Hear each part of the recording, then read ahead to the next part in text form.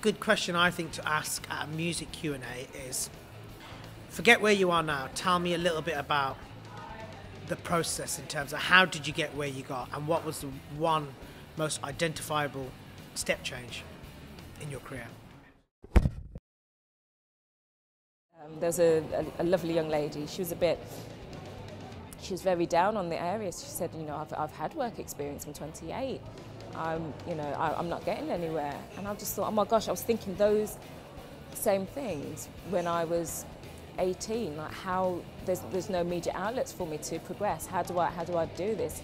And my best move to date has been to move to London.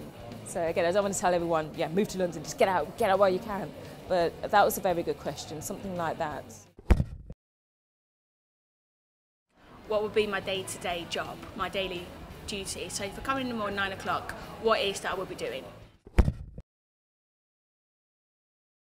So I normally expect my employer or my boss to give me a quick lowdown what I'll be doing on a day-to-day basis. And then from there you can kind of think, okay, is that something that I would want to do? Is that for me? Sometimes I'm, like, well, okay, you come in and you're doing this, and it's not for me, but you know instantly because they will tell you what your day-to-day job is like. That's the best thing. I'd, I'd want to understand just a little bit about their mindset. Because ultimately, you, that's what you can you can control your thoughts, and uh, and and and I wish I knew that at 16 how how actually you know negative thoughts I can you can wipe them away and you and you and you can stay positive. A good question to ask at a Q&A would be it's quite sneaky but sort of something that gives a, an idea of how sort of active or pragmatic you've been. So you might introduce a question by saying I've been working on X Y Z um, you know, a project that you've been doing on the, on the sideline, and it might just be that the person that you're asking a question to would be like, oh, that sounds interesting. I'm going to look into that a bit more, and you never know what's going to come.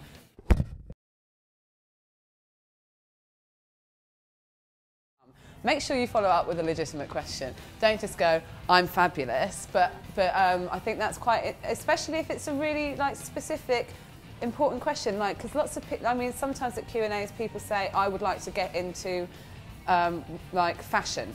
And I'll go, right, um, what's, what's your question? She's like, how do I do it? And they don't even really know how, what, you know, what area of fashion they want to go to, and they haven't really done any looking into. And it's A, it's a really difficult question to answer unless I know what job you want to go for.